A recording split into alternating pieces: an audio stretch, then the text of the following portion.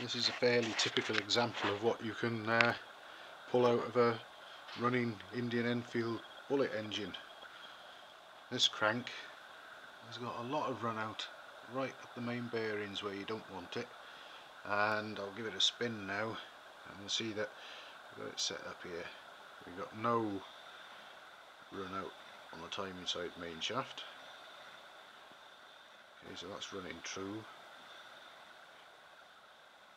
God knows who's been hitting the flywheels with what to align them. The, the edge of one is like an old threepenny bit. It's had a good old bashing with a hammer of some sort. But if we look at this dial gauge, now from one number to the next is 0.1 of a millimetre or 4 thou. So we've got 8 thou run out there, right by the main bearing. What's interesting, I'll just stop a minute, I'll move the gauge along towards closer to the end of the main shaft. Give it a spin there. Move it a bit more, we're on the keyway there.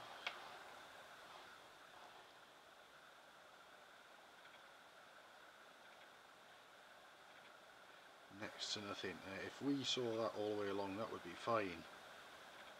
That would be well within tolerance.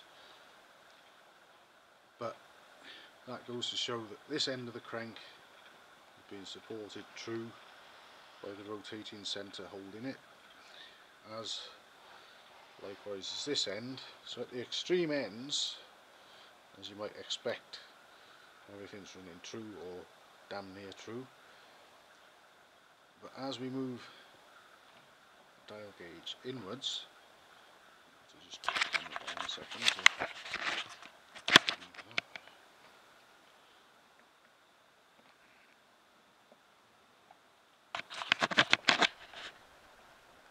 as we get closer to the main bearing and the big end the run out increases dramatically. And that's far too much. 8 thou there it's going to destroy the main bearings in no time and in actual fact we've still got the inner race of the one of the drive side main bearings, the roller bearing in situ. And if I turn it you can actually see possibly I can see it the worn area has sort of become dull rather than shiny. There must have been immense strain on those main bearings and also whether this is related or something else has caused it but the, end of the main shaft has got so hot it's become discoloured maybe someone heated it to get a nut undone.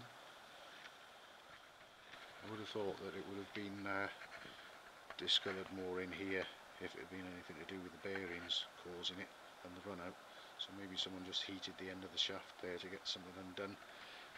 But to have to split this crank To have to split it anyway because I'm going to lighten it for tuning another engine. And um, get it apart. Probably get that main shaft out as well. Whatever it needs.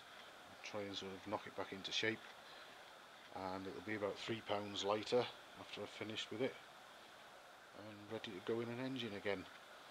Assuming that it can be sorted of course. I'm sure it can. Um, so the next next thing to do is get it out of here and split it and have a look at everything and take it from there.